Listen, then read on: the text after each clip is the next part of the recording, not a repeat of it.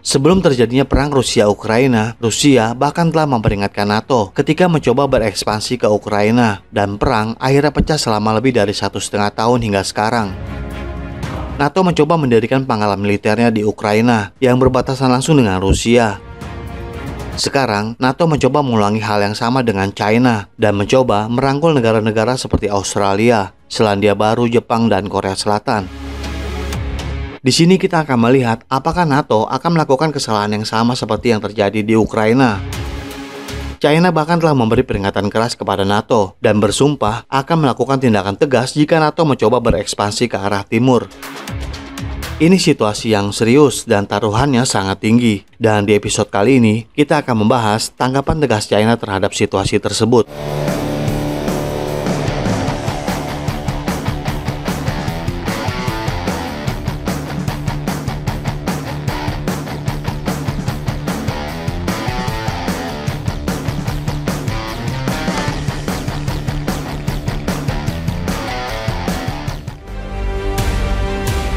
NATO didirikan pada tahun 1949.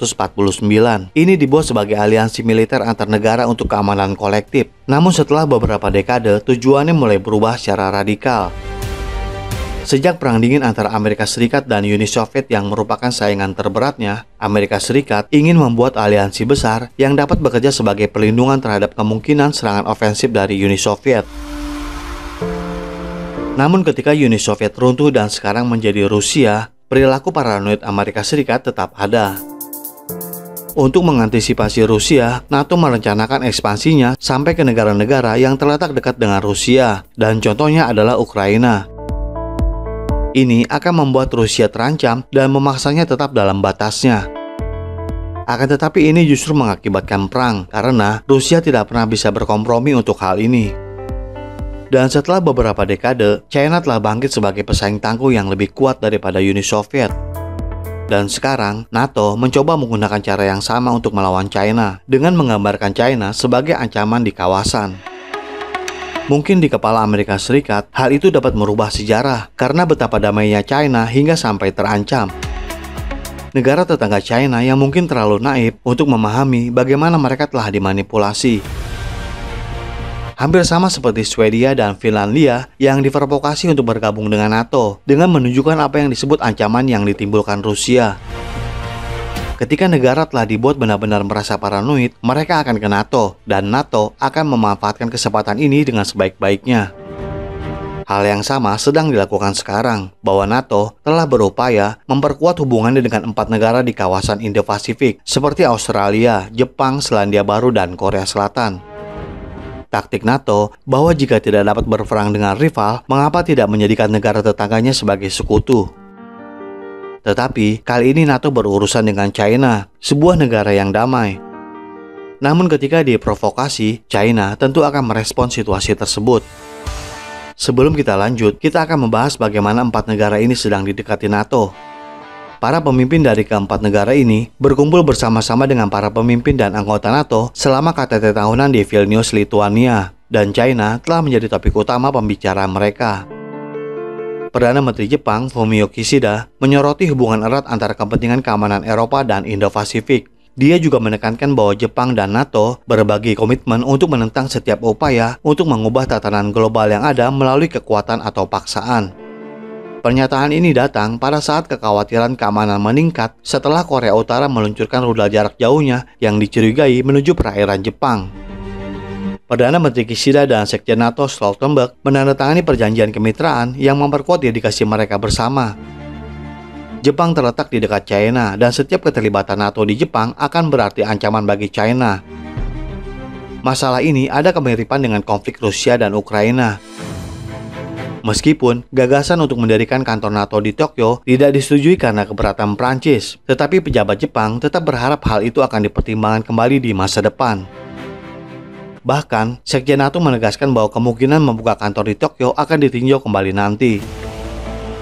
Sebelum pertemuan di KTT Vilnius, NATO bahkan telah menyusun kerangka kerja untuk membuat China terlihat buruk dengan merilis pernyataan yang mengungkapkan keprihatinan tentang kebijakan koersif China dan kemitraan strategisnya yang semakin dalam dengan Rusia, menimbulkan kekhawatiran tentang ekspansi militer China dan penyelarasannya dengan Rusia di berbagai masalah global. Akan tetapi mengapa NATO tidak berbicara tentang ofensifnya Amerika Serikat, seperti larangan perdagangan yang diberlakukannya dan bagaimana itu memanipulasi banyak negara? China menanggapi pernyataan itu dengan menuduh NATO telah mempromosikan perang dingin baru dan memperburuk ketegangan di kawasan.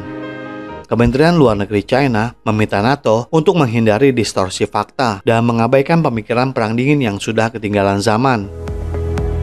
China menentang gagasan pengamanan Asia dari NATO dan menegaskan bahwa kawasan itu tidak mendukung langkah-langkah seperti ini.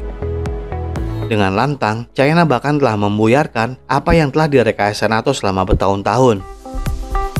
China sangat menentang komunike NATO yang mencirikan negara China sebagai tantangan signifikan bagi kepentingan dan keamanan aliansi.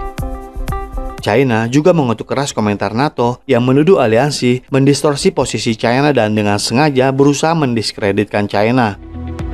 Tanggapan China telah menekankan penentangannya terhadap apa yang dianggapnya sebagai gerakan NATO ke arah timur ke kawasan Asia Pasifik.